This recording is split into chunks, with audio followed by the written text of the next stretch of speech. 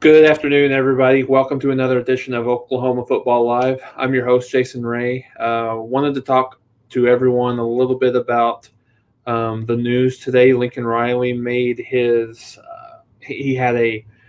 So this didn't come specifically from from Lincoln Riley, but he had a little bit of a press conference as he usually does through, throughout the fall on Tuesdays and talked about talked about the team overall. But I think the one thing that he did not say, which was telling, which has been really reported by Sooner Scoop Carey Murdock, is that Marcus Major um, is, is, not going to be academically eligible this season. So.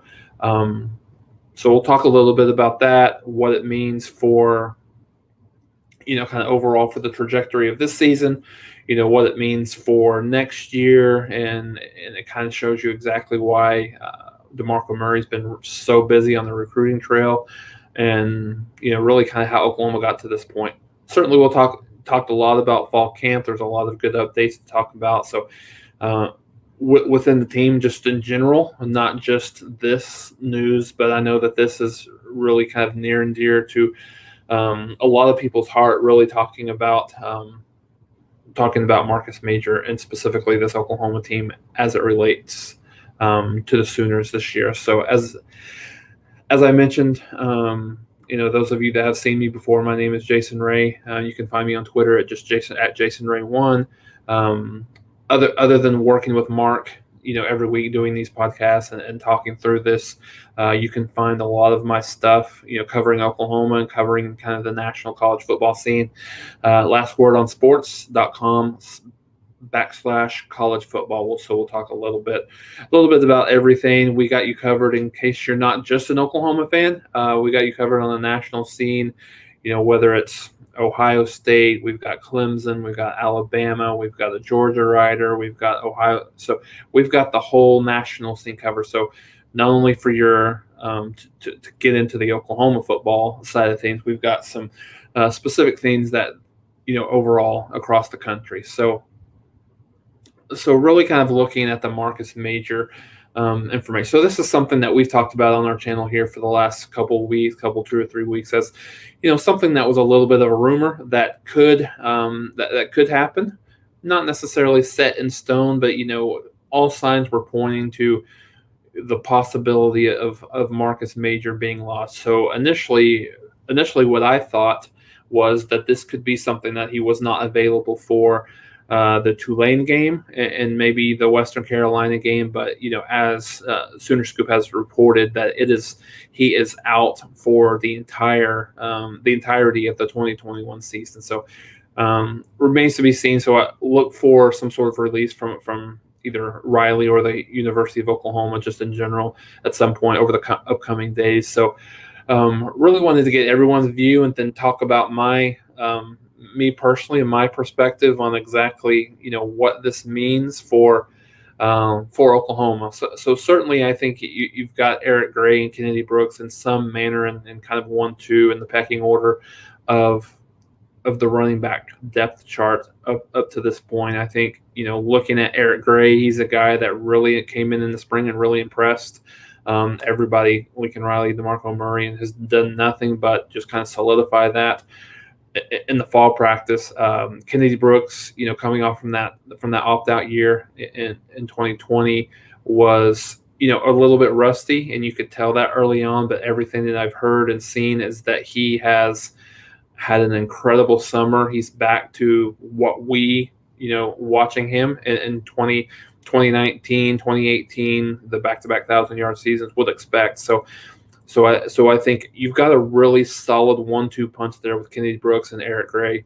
You know, whoever you see starting, I, I from everything I've heard, I think Eric Gray's probably the guy that comes out with a one, but it's really a one A, one B. So I wouldn't get hung up too much on exactly who starts. I, I think both of those guys are going to get pretty equal playing time, equal snaps, and I think kind of based on the package that they have, time, score, situation, as well. Um, and Kavontre Bradford is, is a guy that came in late, but you know everything that you know everything that I'm hearing is a guy that has you know played extremely well, kind of getting getting up to speed with the playbook. You know exactly what Oklahoma is doing and exactly you know how he fits into the scheme. But I think he's a guy that has a different skill set than than anybody that they've had in the running back room. Um, you know, specifically over the last couple years, but definitely this year, he's more of a home run threat guy than probably Eric Gray or Kennedy Brooks are. Not to say that they certainly can't do that, but you know, I think he's um, you know probably a little bit more electric with the ball in his hands. Um, you know, a little bit shiftier. Uh, has strength, you know, from a strength perspective, might be a little bit stronger than than both of those two. So, so I think he's a guy, you know, honestly, that I think has probably earned, you know, regardless of if Marcus Major would, be there or not, based on the way that he's played over the last couple of scrimmages and through fall camp specifically, I think he's a guy that probably had earned that number three spot, you know, as of right now, but certainly this solidifies that. So, what does that mean depth wise going forward past that? Um, you know, past that number three spot because you know, in, in a given season, you know, look at last year for for example, how many of those running backs Oklahoma was shuffling in and out of the lineup, you know, through the you know through the season. Um, you know early on in the season and then you know what it looked like towards the end of the season so um, i think this was a position of strength from a depth perspective that uh, that oklahoma had early on in the season and i think it's gone to probably the biggest question mark depth wise so so you know looking at that i think you can you can look at numbers one through three and, and they're as solid as any group in the country I, I feel feel strongly saying that that you know, any of those three guys can go win you a championship. Um, however, you know, if injuries happen, if you know suspensions happen, we all know what's happened the last few years within that running back room. What does Oklahoma do if they need to have another guy? Well, you know, I think initially you could look at you could look at moving Jeremiah Hall there, not not not necessarily moving him there, but have them have him there from a depth perspective if you know one of those guys go down. Um, so that's that's one school of thought. The other the other thought is they got a couple of couple of um, walk-ons that they're they're going to have to step up and they're going to have to be relied upon to uh, to to provide some depth at times if needed. Jaden Knowles and Todd Hudson are two guys you know, specifically that come to mind as, you know, got Jade Knowles played really well in, in the spring game. All, I know it's a spring game versus, you know, live action. So, um, but that's another guy. Todd Hudson's been around the program for a while as well. Both of those guys know the offense. I think that's the good thing, right? That that both of those kids know the offense and know exactly, you know, how the offense is ran, what Lincoln Riley expects out of the running back room. Um, so I think that's one thing. But however, they're they are walk-ons for a reason, certainly. So so I think you know, and I think the other thought process would be: Is there anybody from the wide receiver room that could potentially provide some depth? I know you know the initial one of the one of the thoughts could be you know is is a Billy Bowman a guy that you know if they possibly um, w- would need to have some depth there? Is he a guy that they possibly could use in terms of you know his his elusiveness? He's a guy that probably will return kicks for Oklahoma and is right there at the nickel spot. So. Um, so those are a couple of, of ideas. I, I think you know I think you'll probably look at Jeremiah Hall as the number one option there if there's some depth issues that that kind of you know creep in. But certainly not a time to panic uh, for Oklahoma fans. I, I, think it's it's unfortunate because I think you know in this day and age it's hard to it's hard to understand how a kid could could make himself be uh, make himself ineligible. You know, I think you know with all the tutors and with all the support that that specifically comes from a university like Oklahoma, it's it's very very strange and very kind of confusing to see how um, how a kid could, could get to this point. It almost points to very much a very lack of effort. Of course, I don't know the situation, so I'm not going to comment too much on on that side of it. But um, so the sky's not falling by any means, but I think this probably brings me kind of coming into the season as the you know as, as my number one concern. Um, you know, looking looking at from a depth perspective only. Um, so Jim, welcome to the uh, welcome to the program. Thanks for thanks for your question. Are they looking at the transfer portal? Given the fact that this just came out, it's a little too soon to answer. And given the fact that we're so close to the season, I think it's it's it's hard. It'd be hard for them to to go into the transfer portal because you know it, it's just you know we're about a week and a half away you know, being on being on Tuesday, you know, a little bit more than a week and a half, but you know, a week and a half from to when games actually start, and the fact that the fact that Oklahoma doesn't have anyone, you know, targeted or this just was announced, you know, today. I don't think transfer portal is probably an option. They're probably going to have to go with who they have. I mean, you know, certainly if there's someone that that, that they think that's a maybe kind of a plug and play guy that could just provide some depth in an emergency situation. That be, that might be something they, they look at. But I think at this point, for someone to be eligible immediately, it would have to be a grad transfer uh, of some kind. So um, I think if they do, it would have to be a grad transfer. Other than that, I think they'll rely on a combination of Jeremiah Hall, combination of their um, you know, their walk on. So that gives you three additional guys in the case of any kind of an emergency with, you know, with Eric Gray, with uh, Kennedy Brooks, and um, Tre Bradford as well. But I think they're solid with those three guys. Now, the depth is, is the one thing to be um, to be concerned about. So, um,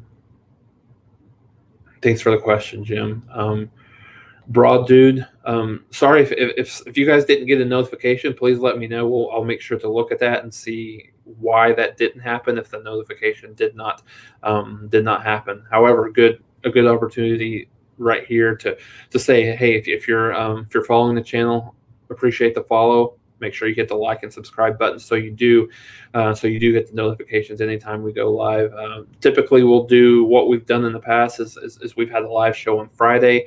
Um, given the fact that we're close to the season we'll have a pregame show on saturdays and then we'll have a postgame show um, pretty much immediately following the game. I'm actually going to we'll be attending the the tulane game in person. So the the postgame show for the first game of the year might be a little bit um, later maybe an hour or so after the after the game it kicks off, uh, or um, after the game is over, obviously, and then um, before that, you know, I think we'll probably go um, maybe three hours before the game start. We'll do our pregame for about an hour and a half, maybe a couple hours before, and just and just kind of talk through some of the keys and stuff. So you want to make sure that you like and subscribe and, and get that notification. If if there's some if there's some news throughout the season that is warranted for us to kind of go live um, to go live and we'll certainly do that something like this.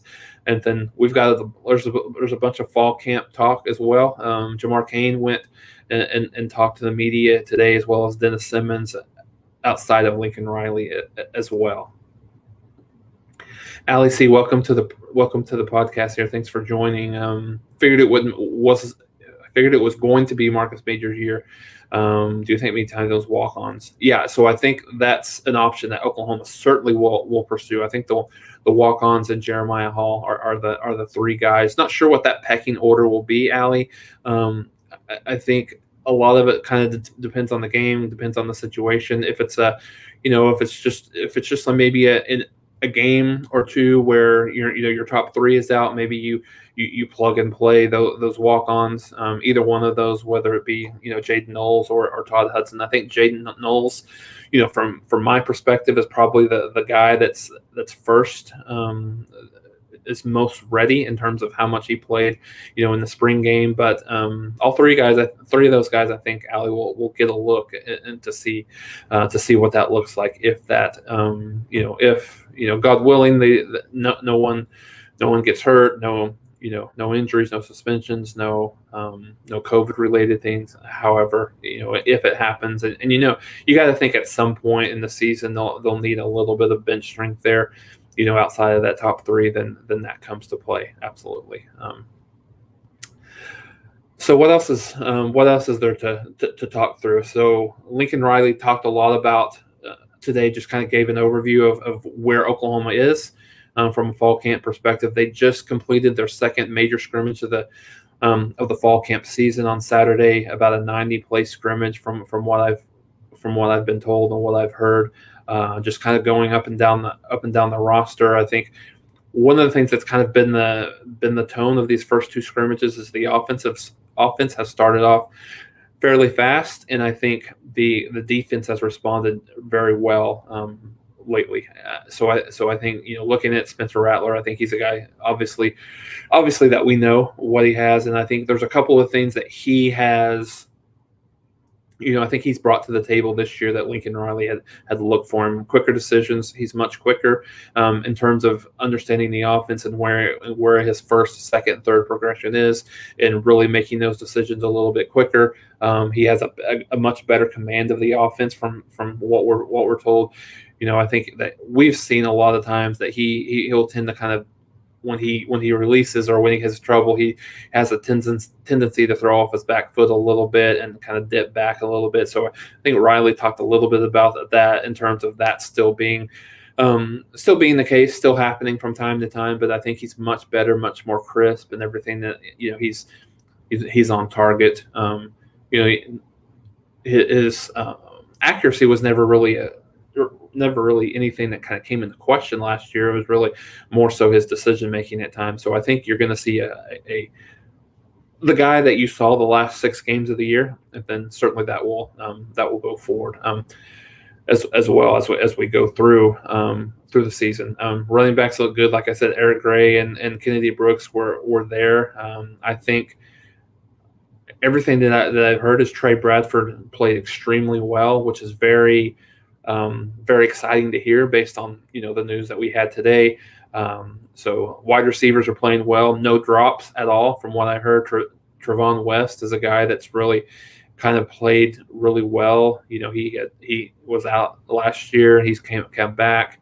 Um, so so I think that's positive. I, I think they're one one of the things that I took away from some of the commentary today was it was Lincoln Riley talked about the offensive line, said felt like that they were better, you know, talent wise than they've been in the last couple of years. So I think that's um, that's very encouraging to hear because I think that's one of the concerns um, you know that that Oklahoma had coming into the season. So I think they got a solid seven or eight guys that they're comfortable with that they could play. Um, you know, given given where they're at, and I think the one good thing that that we've seen over the past three years is, you know, the offensive line probably was ahead of the defensive line to a certain extent from a talent perspective. That's not necessarily the case anymore, given the influx of talent that Alex Grinch has been able to, to, to bring into the um, to the defensive room. So so that talent is a lot more even than, than what it were what it was, um, you know, the last few years. So I think that makes that competition a little bit stronger, and um, you know makes makes the scrimmages in practice much more competitive than maybe they have in the past. Um, so Hannah, thanks for the next question. Um, will this cause OU to pass more since they will be left? I don't think initially, Hannah. I mean, I don't. I don't think that Oklahoma will will change from a game plan perspective. Of course, the game plan will be game by game based on what the defense is giving them, obviously. So I, I don't think. Um, I, I don't think this will change a strategy as of yet. However, having said that, if if we do see some injuries and you know maybe the the play isn't as strong, you know, from a depth perspective, that certainly could be the case. Um, they could rely on the offensive line in the pass game a little bit more and the, and the wide receivers. But I, I, don't think it's anything right now to, to worry about in terms of Oklahoma really kind of changing that that game plan. And, and Riley's talked about they're a run first team. You know, they, they've always been that way. They've maybe struggled a little bit last year early on in the season, running the ball as effective as effectively as they need to. But um, you know, having said that, they have been um, they have been been a team that has really um, relied on the running game um, over the over the last few years, and I, I, don't see that changing at all this year um, at all.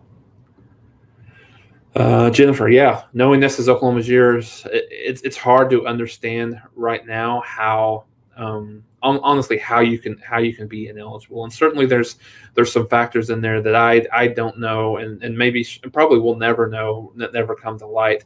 But given the the tutor availability given the just the help that all of these kids get it's it's hard to it's hard to conceptualize and you know kind of understand how you know how a kid could get um, could become ineligible especially given the fact that they're he's ineligible for the entire season. So that's um, it's disheartening. And I think you know, and who knows? Maybe he's a kid that knew he was closer to fourth team than he was actually playing, and and um, you know he he was discouraged, and that's what caused him to you know. So don't know anything about it, but I think it, it's certainly um, it, it's certainly unfortunate um, that he's you know really landed himself in that position as well. Um, so Hannah coming strong with a good with a good question. So really, I think I'm glad that you mentioned Caleb Williams. So he's a guy that I had heard really extensively um, being talked about by by a lot of people, and just how incredibly impressive that, that he is. And, and you know he's approaching every day as if this is still an open competition, and, and we all know that this is this is Spencer Rattler's job, but I think more so than maybe to your point, since the 2017 season, Oklahoma's very comfortable should something happen to to Spencer Rattler on Caleb Williams running this team. Um, I think his elusiveness and his he's a true dual threat who is just as strong, you know, running the ball as he is passing the ball. Um, we saw in in the spring game. I know it's a little bit different since they're not tackling the quarterbacks, but just saw that dual threat ability that he has. He ran the team very well. Was probably the most impressive guy in the in the spring game for Oklahoma. So so yeah, I think I think you could see some packages for him, especially as we get into crunch time later in the season, um, for him to get in, into the game and, and, play a little bit for for Oklahoma this year. He'll certainly play in the four games. I think they'll get him as much playing time as they possibly can. You know, whether it's mop up duty or whether it's um, in a situation in packages um, specifically just to take advantage of his skill set. But a guy that's been really impressive in the fact that you know he brings it every single day, every single practice, and you know he's a he's a guy that you know wants to be better and, and has a burning desire to to play as quickly as he possibly can. Uh, so talk about the D line and the O line. So I, I think I think what we've seen, Allie, early on, you know, through fall camp is we're seeing a lot of back and forth between between both. I think you've seen the O line, you know, take some strides, and then I think you've seen the D line really just attack them and, and really just be um, be the D line that I think a lot of us coming into the season were were thinking and hoping that you would see. Um, you would see out of Oklahoma. You know, I, I, I, think a lot of people inside the program think that this has a chance to be a very elite um, defensive line, if not the best in the country, maybe a top five uh, defensive line in the country. So, so I think for that that you would expect a little bit of give and take. I think with with the fact that the Oklahoma defensive line is probably the strongest unit of the team overall, not just on the defensive side of the ball. And, and, the offensive line has a, has a few new kids in there. You know, Andrew Raym is working at center.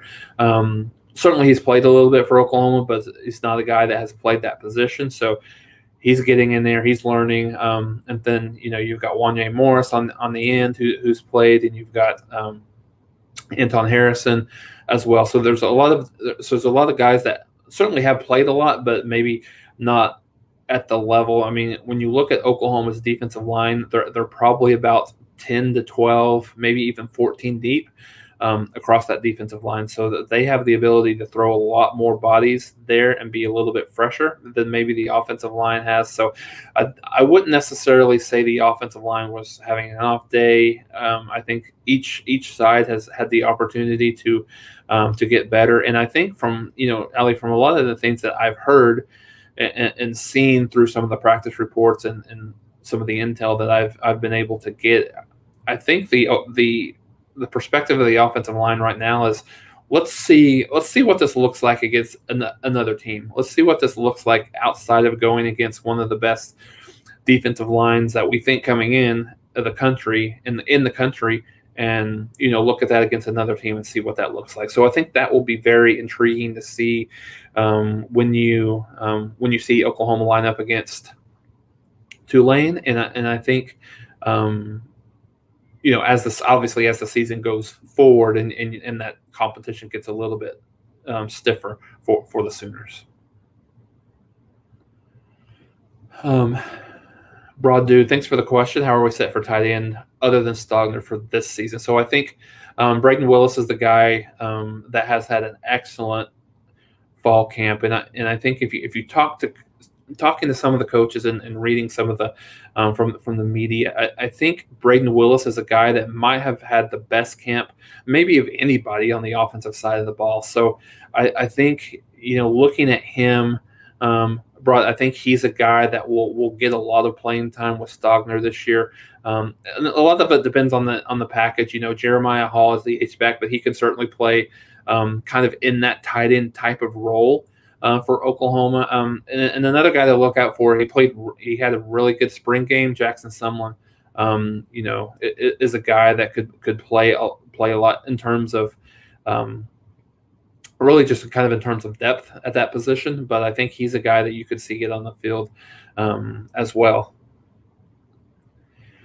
Yeah, no, it's it's kind of funny, Ali, and just overall for the for the group that's here with us. Uh, Thirty three people on the line. Yeah, so keep the questions coming and um, share, like, subscribe, and, and get this out there so a lot of people can join us. I'd love to get in a position where we have over hundred people that were on online talking Oklahoma football. That's um, really exciting for for just a week and a half away and just a mere days, a few days away from week zero getting started. That's exciting. Oklahoma will get a chance to look at, and we'll do some live stuff on Saturday, probably around you know ten or eleven, to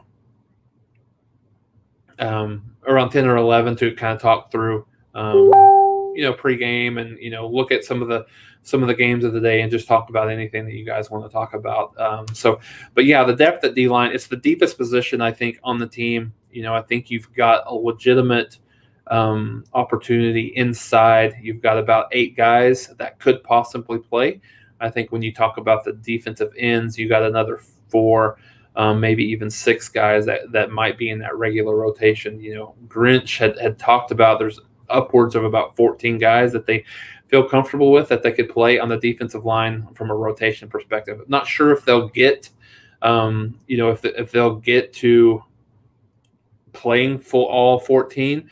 But I think there's a lot of guys there um, when you look at the defensive line. Certainly, I think we will probably start with uh, Perrion Winfrey and Jalen Redmond as the as your two guys. But then you got Jordan Kelley, you got Isaiah Coe, you've got Corey Robertson, um, you've got um, you know you've got Josh Ellison. I know I'm missing some here, um, but you've got a lot of guys internally there um, you know, from a defensive end perspective, you got Marcus Stripling, you got Reggie Grimes, you got Nik Bonitto, um, you've got um, you know you've got the new Clayton kid, the the, the freshman, um, who who will get some playing time as well. So so yeah, I think they're I think they've got a lot of depth there, and I think one of the things that's interesting is they were they've been working Caleb Kelly both at inside and outside linebacker. So.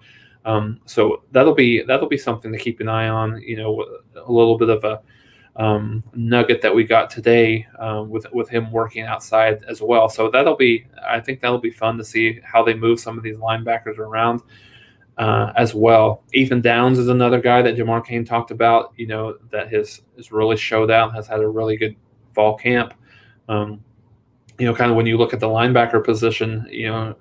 I keep hearing um, Danny Stutsman's name over and over and over again, who's a guy that he's absolutely going to play honestly, with with as as much as I've heard, I wouldn't be incredibly surprised if he even started. I know they've got a lot of talent inside when you look at um, when you look at David Ugwoegbu, when you look at DaShaun White, when you look at Brian Asamoah. I, I think um, I think those are those are some guys um, you know that that have played you know certainly played for Oklahoma over the last couple of years. So um, so I think it's it's going to be interesting to see um, to see exactly what that you know what that two or three deep looks like at the in in, inside linebacker position as well. Let's see. So Patrick saw your um, saw your question about Harrington, and I think Patrick, when you look at when you look at the defensive backs, I'm not I'm not sure that Harrington's not one of the top 11 players overall on this on this roster on this defensive team. But so I think it'll be interesting to see where the cornerbacks, how which cornerbacks separate themselves um, here for Oklahoma. I, I, think you've got about four or five that are certainly going to play. Right, you've got um, you know, and, and I, I kind of hesitate to see who I think is going to be the starter because I think com- kind of coming in, I had thought, you know, we would probably see a DJ Graham and a Woodi Washington probably be your first two corners. Not saying that that's not going to be the case, but wouldn't be surprised to see some combination of DJ Graham and um, and uh, Harrington as, as, your starters. You know, could see Woodi Washington and Harrington as your starters. You know, you got Jaden Davis there that's going to be in the mix. You got Latrell McCutchin uh, that's going to be in the mix as well. So, so I think you've got a lot of depth there at the cornerback position. And you know, everything I've heard, no one's really separated themselves. So, and I don't necessarily think that's a bad sign. I just think that the influx in talent um, that Oklahoma has had in the secondary is um, you know is really impressive and, and and really it's it's not what you what you have seen in the past so I think Oklahoma um, has that you know really has that opportunity to uh, to be much better, excuse me, on the back end than they have in the past. So thanks, Patrick, for that for that question. Um, really kind of piggyback on that in terms of talking about the safeties a little bit. We talked a little bit about the cornerbacks. I think Key Lawrence is a, is an interesting guy. From from what I've heard, he's a guy that bring when he when he's ready when he brings it um, he's one of the best players on the on the defense, bar bar none, whatever position you're even thinking about. And and so, but the problem is, I think he doesn't always necessarily bring it consistently every single game. I think from a talent athletic athletic per- perspective, he's the best. Um, he's probably the best safety. Um, certainly, certainly from a um, in terms of that that battle that he has with with Pat Fields. I, I, think Pat Fields, you know, he brings a lot of leadership to the team. He brings a lot of experience, but I think Key Lawrence has a has a higher ceiling. So I wouldn't at all, you know, Jeremy, be surprised to see um, Pat Fields maybe start early on in the season, Tulane, Western Carolina, early, but Key Lawrence get a lot of playing time, and then eventually see see Lawrence take that take that job over. Um, you know, when you look at the other safety position, position I think Delarrin Turner-Yell has that one knocked down. I think Oklahoma would like to see. Um, so I think whoever doesn't start, whether it be Pat Fields or um, Key Lawrence at that other position, will be kind of a swing guy at both the strong and the free uh, for Oklahoma going into the year. But but I think in the other the other side, really not not incredibly surprising, I guess you would say, but it, it looks like uh, Billy Bowman's kind of won that job at the nickel position. You know, certainly I know they got a little bit of, of, of, time to go, but I think there's probably some tough discussions that, uh, that have been had after the after the scrimmage. But you know, everything that I've heard, I think Billy Bowman has won that job, which is you know just a testament to him. You know, coming in as a true freshman, being able to play at, at a being able to not only play but start at a critical position for for Alex Grinch's defense, like like the nickelback, is, is really is really big for him. And, and I think Oklahoma has that there, certainly with him and Jeremiah Criddell there. And I think they'll be stronger at that position that they have um, that they have in the past. But I think. Um, you know, I, I think it, it's it's a good situation for Oklahoma to, to have. I think you know, in, in the other safety positions, um, you know Bryson Washington is a guy that probably needs to needs to solidify himself right there um, as well. So good questions, good discussion on the on the defensive secondary there. Um, so back to the running back, three scholarship running backs enough. I mean, remains to be seen. I, I think it's I think it's a position that Oklahoma would like to not be in. Um, obviously, you know that that that depth was there previously, and, and you know it, it, took a little bit of a hit. Certainly with Mikey Henderson and Seth McGowan, that was I think that we all thought was going to be part of this team. Could provide a lot of solid depth. Oklahoma ha- had the opportunity to be a little bit. Um, you know, they had the opportunity to to mix and match those kids a little bit more um, than than than they would hope hope so hope to. But I think you when you have a guy like Tre Bradford coming in, I think he has a ton of up, upside. Um, and just so when he gets, I think he's got a lot of uh, he's got a lot of wiggle to him, a lot of speed that Oklahoma doesn't hasn't had in the past. So I think he's um, I think he's going to be good uh, for the Sooners, and they have they have a really good one two three punch. Let's let's not be these three scholarship running backs aren't um, aren't too shabby. I think any three of them can go, as I mentioned earlier, can go win you a championship um, this year. Yeah, good question. This is one of the things that I led off with with Patrick, and kind of talking about what are the options for the Sooners should Oklahoma get into a depth issue where you know one of those three, um, you know, knock on wood, don't get hurt. But if they if they do, if they're out for a game or they're you know partial game or you know hopefully not multiple games, but if they did, I think your your first you know your first move is probably moving Jeremiah Hall, um, having some some depth there uh, moving him there. But then you also got the two walk-ons. You know, Todd Hudson um, is a good is, is a kid that will that that could possibly play. Jaden Knowles is another guy um, that Jaden Knowles might be a little bit more ready to play um, than uh, than than Todd Hudson. So I think Jaden Knowles and uh, Jeremiah Hall are the two guys that I would think about. But but then then again, when you look at a kid like Jeremiah Hall, you you take him away from the H back tight end group, which now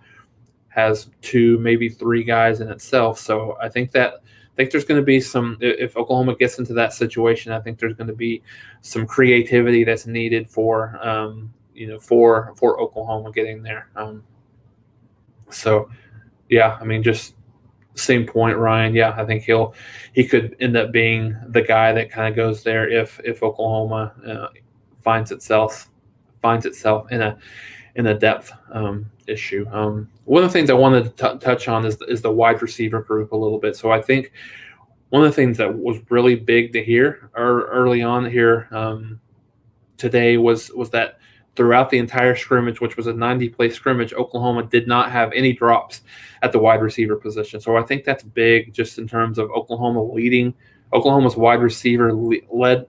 Sorry, let me say that again. Oklahoma's wide receivers led the country in the and dropped touchdown passes last year with eight. So, and I think the next closest was four. So, it was really as good as Marvin Mims was, as good um, you know, even as Rambo was last year, um, you know, I know he was a little bit disappointing, but you know, in terms of the production that Oklahoma had at the wide receiver position, you know, it certainly left a lot to be desired and a lot, a lot of meat on the bone uh, for the Sooners. So I, so I think Oklahoma feels good about who they have um, coming into the season. I think they feel good.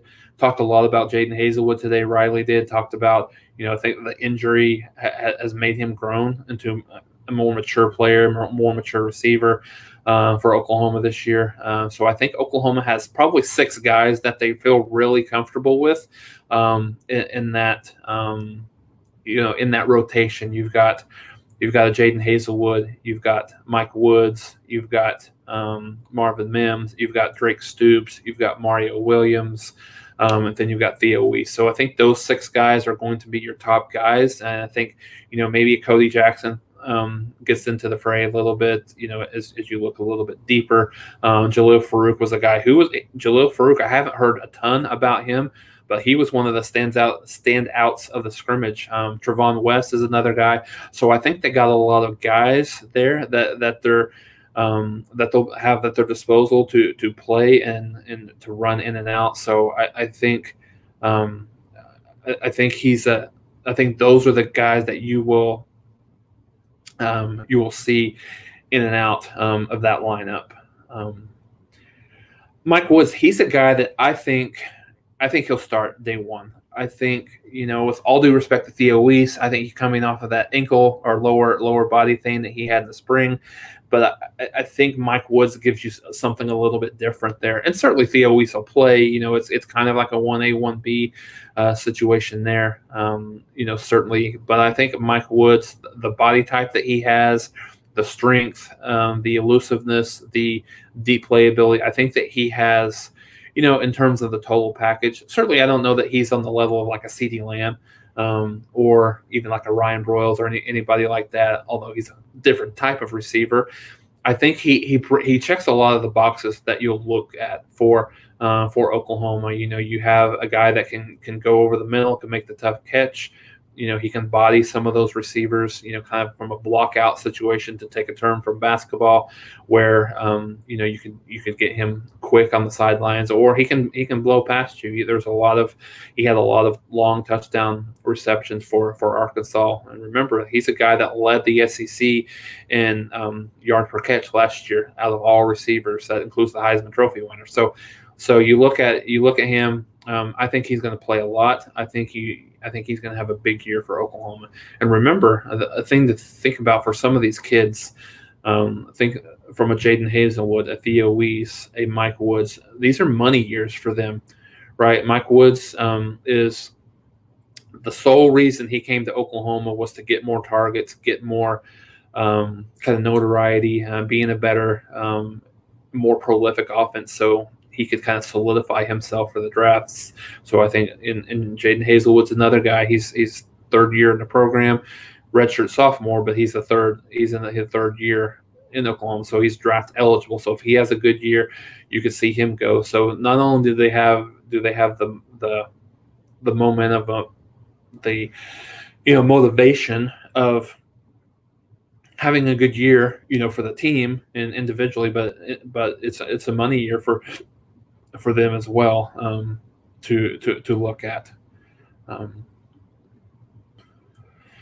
so just some conversation in the chat here about you know whether the, whether whether or not Oklahoma needs a running back and whether or not they'll they'll go um, to the to the portal um, for um, for that running back. You know, I don't think that Oklahoma is going to be able to.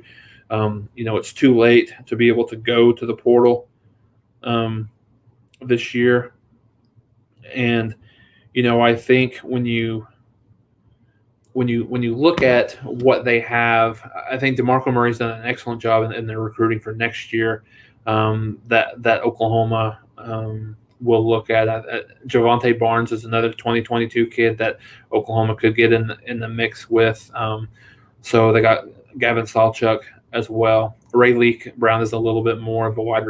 He's a wide receiver guy, kind of a, um, a running back slash wide receiver. So I think um, you know I think there remains to be seen. I think they got a lot of talent coming in next year, so I think they're probably in a position where they're going to have to just kind of hold on to what they have um, right now, and and and and look and see exactly you know how they're able to finish the season with with what they have now.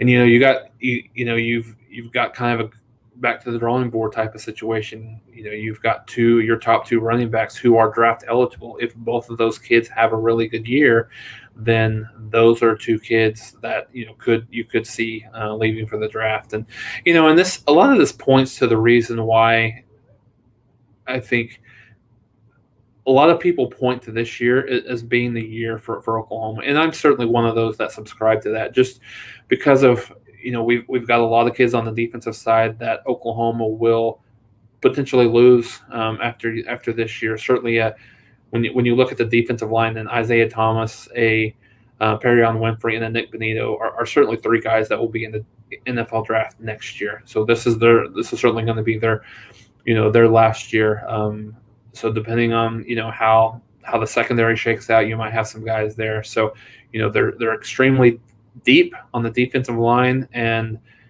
this everything points to this being the, the year that Oklahoma has the opportunity to win a win a national championship. Everything seems to have pointed to this year um, in, in, terms of the roster, in terms of the schedule, in terms of you know the competition. Because you know when, when you look at the top five teams, certainly Oklahoma's in there with um, you know number two AP with you know, with Alabama, with Clemson, with Georgia, with Ohio State.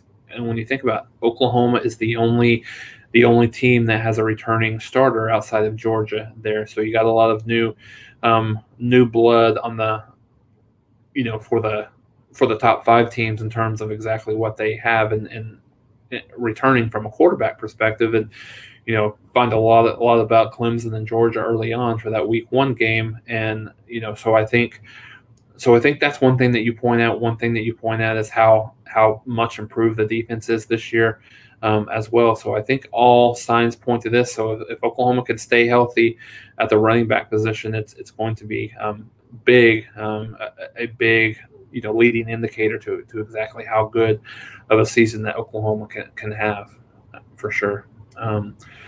Good recruiting question from Patrick here. Um, you're you know really talking about um, Oklahoma's recruiting class. I think um, Gabe Dindy is a is a big one um, on the on the defensive line. One of the top 15 players in the country overall. One of the best defensive linemen um, in the country. Um, it, it, seems to be between Oklahoma and Texas A&M right now. I think Oklahoma, you know, has a has a slight lead. I, I think there was some you know some news about it when his dad took that um, took that took that pastoral job in College Station. I think it was a lot of us you know, reading into it, thought that that was just kind of the, the, the writing on the wall. And and from everything I've heard lately, I, I, don't necessarily think that's the case. I think he loves Oklahoma. I think Oklahoma's the, um, I think Oklahoma's the the place that he wants to be. I think his family's really kind of supporting him in that in that endeavor and, and being coming to Oklahoma. So he would be a big get. Um, for Oklahoma, uh, Omari Abor is another kid from uh, from the Texas um, area that is big on Oklahoma, a lifetime Oklahoma fan, him specifically. So I think Oklahoma has a little bit of a leg up there. Um, I think that's a little bit closer. I think in terms of an Oklahoma A and M um, outlook there. Uh, Gentry Williams, another in-state kid, the best player in the in the state uh, this year, uh, is another guy. That's pretty big. I think it's certainly between Oklahoma and USC for him. I, I think there was some there was some thought, you know, within a couple of months ago that that maybe USC led from for him. I think he's a guy that is very. If you don't know anything about Gentry Williams, he is a very a very big advocate for the state of Oklahoma. Uh, so, so I think if if Oklahoma lost him, that would be a big loss. I, I think knowing that knowing how, specifically how well Oklahoma's done, you know, over the, not historically over the last few years, but this year they've got a lot of good um, they secured a lot of in-state kids, not only for the 2022 class but 2023 as well. Um, so I, I think um, I think that's those are a few guys that um, that I know that uh, that I know of that Oklahoma's in on on 22, and we'll do another. We'll we'll do one of these shows here. You know, maybe at one point during, during the year to kind of talk about 2022 and 23 recruiting. If you're not following 2023 recruiting, um, it's a little I've always said, you know, some of the 17, 18 year old kids, you know, when you when you look at 2023, you know, they they've got a full two years to change their mind multiple times, but you can't ignore um, exactly what Oklahoma's been able to do um, on the 2023 circuit. They've got the number one class in the country, and it's not even close.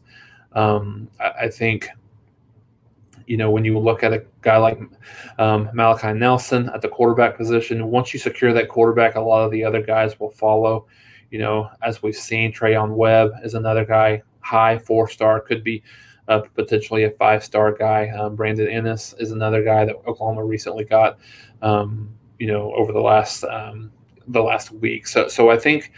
Oklahoma's doing a really good job. You you know you wonder how much of the SEC kind of goes into that, um, but I think you know, I think they've done um, an incredibly, incredible, incredible job on the 2023 cycle. 2022's, um, you know, kind of slid down just a little bit, but I think, um, I think that 2023 class is going to be um, dynamic for Oklahoma at the at the skill position as well. Uh, so let's see. Let's talk. Let's talk a little bit. So I've got some more defensive um, defensive questions and comments. Um, David like, he's a guy. I, I, think he'll start inside. I, I, think he's a guy that has to take that next step. He has to. You know, he made some good. He, he was pretty up and down last year. You know, from a consistency perspective, him and DaShaun White you know, we're certainly certainly shared time there, but I think he's a guy that has to solidify. He has to be. You, would like to see him have a Kenneth Murray type of season um, for for Oklahoma this year in order for you know Oklahoma just to be that much more dynamic at the at the at the linebacker position. I think he can be, um, but I think he has to be the guy that's that that dominant inside linebacker, really kind of moving, you know, moving to Ryan's question specifically. I think it's it's Ugwoegbu that has to be that guy. Um, you know, DaShaun White is I, everything that I've heard from him over the last couple years, and that hasn't changed this this fall, is that he is a guy that that that always knows where to be. You know, he's you know fundamentally sound. He's one of the best linebackers that they have. You know, just athletically, he may not be necessarily at the level of a Danny Stutsman or necessarily at the level of a Kenneth Murray or specifically David Ugwoegbu for this year. So, um, so yeah, I think Ugwoegbu is the guy looking long term. Um, Danny Stutsman could be, could be that guy as well uh, from that linebacker. Um, Shane Whitter is a guy that you know Brian Odom talked a lot about in his press conference this past week that he can be a kid that plays a lot. Um, you know, not only plays a lot, but he's he could be a game changer for, for Oklahoma. So I think that's um, that's another guy as well to, to to look at in terms of that that defensive depth. Um, we've got 68, 68 in here now, so keep it coming. Love the questions, love the talk. So excited for this season, guys. I mean, I, I think that you all are as well. Um, you know, we're a week and a half away. Um, you know, next Thursday I, I head to New Orleans, excited to be there. Um, you know, I know that I, I, hope the the protocols don't keep um, a lot of people away. I think it'll be a really good atmosphere. I think you'll see at least at least as many Oklahoma fans as Tulane fans there, if not more. But hope the protocols don't get don't get um, too many people away. So really excited about that start uh, starting game, and then you got Western Carolina you know, as kind of a, a game that really, you know, has to happen from a financial perspective a lot of times. And then, then you got Nebraska, which will be, you know, obviously Nebraska is not what they were, what, what they have been. And they, there's a lot of, um, you know, there's a big cloud surrounding their program right now with, you know, the news that came out last week about them, you know, practicing during the pandemic when they weren't really su- supposed to. And, and, you know, just the looming, you know, issues with, with, with him are, are you know, with Scott Frost in terms of, you know, is he able to get them back to a bowl game this year? So really, so we'll um, we'll talk a little bit about Nebraska and Illinois, break that down a little bit next Saturday as well, or this Saturday, I should say. Uh, so let's see, DaShaun White. I think you know DaShaun White's gonna, he's he's playing a lot, Zach. So I think he'll he'll certainly play it. Not sure what what that start will look like. I, I think, um, but I, I think that he will certainly enter into the rotation. Don't really see. I, I think we'll see Ugwoegbu starting, uh, but I, I, think he will definitely be part of that rotation. I think there's probably about um, another six or seven guys, uh, maybe maybe seven's pushing it a little bit, but I think you got six guys um, from a linebacker perspective that will be um, that will be shuffling in and out for um, for Oklahoma. Sooner Thrawn, thanks thanks for coming back again. Um, Thrawn, you a lot of good questions uh, last time we went live on, on Saturday. Um, very good point. I, I think you know I, I, think they're already seeing that. So what I had heard from the from the scrimmages, you know, Eric Gray didn't get a ton of ton of time. He played a little bit, but they almost they almost completely didn't even touch Kennedy Brooks. So I think what you're going to see throughout the year is they're going to um, they're going to do everything that they can to they're going to do everything they can to keep those three guys healthy. Um, certainly don't know their vaccination status, so I would assume that Kennedy Brooks is vaccinated based on his opt out last year, but hopefully that doesn't enter into uh, into into the fray for for for those three kids this year. But yeah, they'll do everything to keep them um, to keep them um, healthy. Yes, Jimmy, absolutely. That's a good point. He is visiting. I couldn't remember if it was the fourth or the eleventh, but yes, he's visiting for Nebraska. Um, and you know, I think that's, and again, you know, we've talked a lot about that in here in terms of what that Nebraska game and the 11 a.m. and you know, it's a, a good segue into the next question. But um, it's tough for some of those kids to to be able to play a game on Friday night and still be available um, to um, be available to go to go to a to a to a college campus again Saturday morning. So, but yeah, I think Dindy's visiting September 11th for the Nebraska game is is everything. I'm sorry, I, have got my days mixed up. So September 11th is Western Carolina. So yeah, I, I, do think he's visiting for Western Carolina. I think originally he was he was looking at you know coming in for the Nebraska game, but based on that 11 a.m. Um, you know kickoff, I think it's really just hard for some of those players to do that. Um, so Zachary, good question. Do you think the OU will be playing the SEC next year? I do. I, I, I do. I, I, think you know. I, I, think worst case 2023, um, but I think all signs are pointing to 2022. You know, we've, we've talked about, you know, you, we, one of the big news today was the, the scheduling alliance between the ACC, the, you know, the Pac-12 and the Big Ten, which was a really, it was a big announcement about nothing, you know, about them doing a scheduling alliance and they're, they're going to honor a lot of the, the, the existing contracts. So that's like way, way down the road. I think that you that you look at that, but I think that was more of a play to um, to combat um, the the balance of power that that would that the SEC is going to have with with Texas and Oklahoma, um, you know, going into the to the SEC. But I but I think one way or the other that you'll see Oklahoma and Texas competing um, in the SEC next year. Whether you know whether you look at it from from from the from the side of Oklahoma's going to and Texas are going to have to pay that you know the 80 million each, or you know the Big 12 you know kind of dissipates. One of the, one of those things I think will happen where where Oklahoma and Texas will play in the SEC in 2022, and and so now it's kind of from a scheduling perspective, what does that look like? Does Oklahoma, if uh, the 2022 thing really happens, what what does that what does that look like? Does um, does Oklahoma stop playing Oklahoma State next year? Is this the last Bedlam um, game that we see for you know for the for the next couple next few years or the next?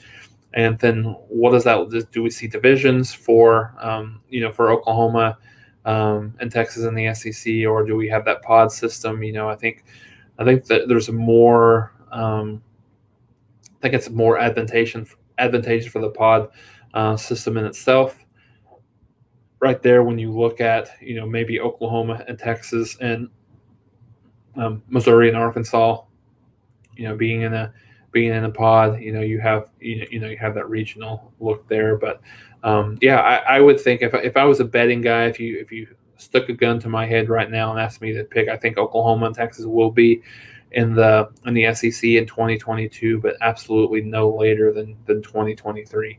Um, so I think it's just a waiting game right now on, on which I think Oklahoma and the SEC and, and, maybe even Texas from a Longhorn Network perspective is ready to pull that uh, proverbial trigger whenever whenever they can or whenever they're ready. But I think um, I think it, will happen one way or the other, whether Oklahoma and Texas get out there get out scot free, or whether um, you know whether the big tw- or whether they have to given um, some of that money. Keep in mind that I believe Texas still has 10 more years on the deal that ESPN owes them 15 million per year. So, you know, there's been some thoughts that, you know, kind of under the table that Texas is, you know, is going to play, um, is going to pay, you know, both Oklahoma and Texas's way to get out of the conference early. So if that's the case, they've got that in their back pocket. And I think the Big 12 and the SEC knows that as well. Um, so I think that's, um,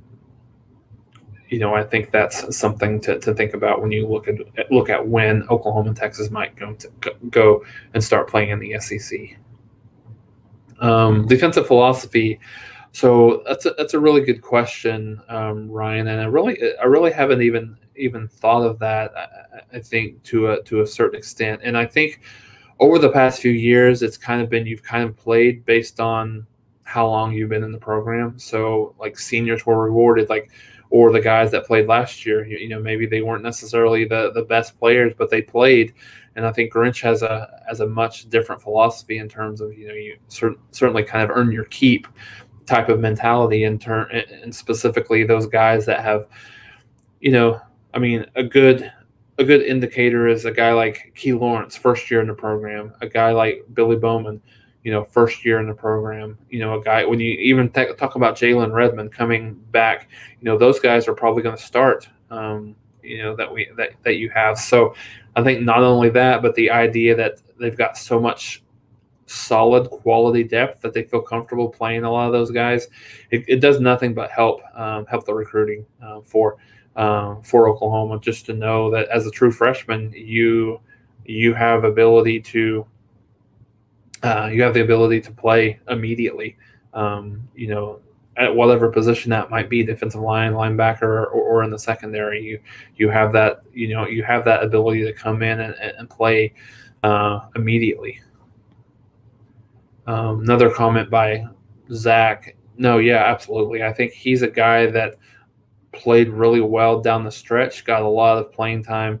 You know, towards the last, you know, five six games of the year, obviously started that uh, the Cotton Bowl um, with with Tre Brown, you know, kind of holding out for the draft. So played well in that game. Obviously, I think one of the things that that I've seen and heard that through um, through fall practice, they they throw away away from him a lot, and I think you've seen some of those videos where you've seen him make a couple of really good pass breakups and and good um, one handed interceptions. So the things that I've heard, not specifically DJ Graham, but he's in that mold, you know, with a Latrell McCutchin, a Jaden Davis, a, a Woodi Washington. You'll have periods of just spectacular off the chart plays and then you'll have periods of just just average just okay so so i think as camp has rolled on you know getting that getting more consistent in it and i think they've got a lot of guys that can do it. So you know i think you know one of the things you know that's part of the recruiting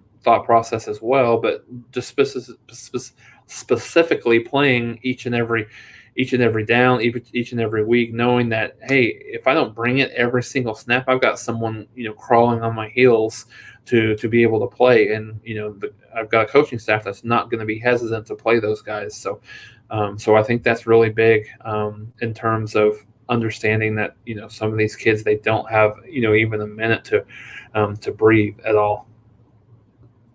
Um, Jimmy, absolutely Harrington will be in the in the rotation at cornerback. I, you know, wouldn't be surprised at all to see him start, um, go out there and start against Tulane. Um, certainly, he'll be in the two deep. You know, he, uh, Roy Manning talked a lot about his question was a question that was posed to him: is, is he a safety or a cornerback? And you know, Roy Manning answered the question by saying yes. So I, I, I think I think he's primarily been working at, at cornerback, and you know they certainly could move him around, you know, at, at, a nickel, at a safety position as well, and be a little bit more creative there.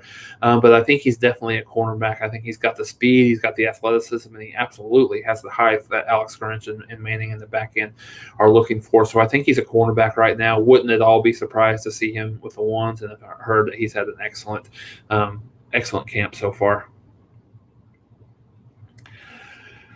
Is there a character problem um, at Oklahoma? So, you know, I was I, would heard a lot of that commentary specifically. You know, I think Riley has dealt with that this year, maybe more than more than anything, uh, more than any year that he's had with uh with the Mikey Henderson, with the Trejan Bridges, with the um, Seth McGowan. You know, maybe to a certain extent, a couple years ago with the with the guys that got suspended in the LSU game, but I, I don't necessarily think that, that I would say there's an overall program character problem based on the based on the actions of a few.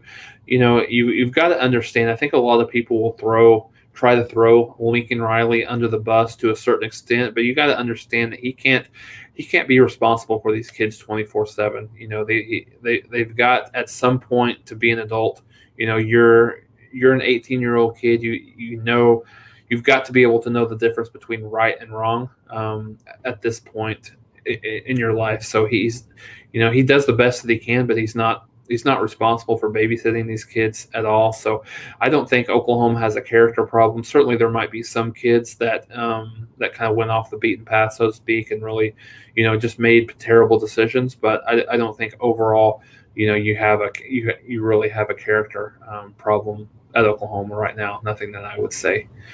So um, we're about an hour in. So thanks everybody for joining. Um, a lot of good comments, um, a lot of good questions. Um, I'll make sure that the notification stuff is working appropriately. If, if for some reason anyone didn't get didn't get notified that we were going live, we will go live um, on Saturday. We'll do another precursor to our um, our weekly Saturday coverage. so we'll you know, mostly just we can sit around and watch football and talk um, and talk about some of the some of the games that are that are happening um, live. So we'll probably do it around eleven noon time. So we've got um, you know we've got the college game day preview show that starts um, starts kicks off the season for ESPN you know, at 8 a.m., 8 to 11, and then um, at noon you, we've got that in Nebraska and Illinois um, that starts, and then later in the later in the day at 2:30, Hawaii and UCLA. So we'll talk about those games a little bit. you know, talk about anything that comes up between now and then, recruiting, fall camp, um, any anything that I have, you know, for the next few days. We'll we'll talk through that, um, talk through that as well. So join us at Oklahoma Live, Oklahoma Football Live. Also, I'll put up a poll. Um, want want to kind of get your ideas um, on what kind of a name that you're. This is your show. Um, happy to be here for you guys and enjoy talking Oklahoma football. This is your show. Want to get into, you know, exactly what you you know what you look look for um, in terms of what a name um, name for our show. We'll, we'll come up with something good um, as opposed to Oklahoma Football Live. Not that that's not great, but just something more tailored to a to a post game show. So, uh, thanks everybody for joining in. Um, we'll we'll send out some notifications in terms of when we're going to go live on Saturday, but expect that to be at about 11 a.m. Um, Central Time, unless something changes. But um, look forward to talking football with you guys. Thanks.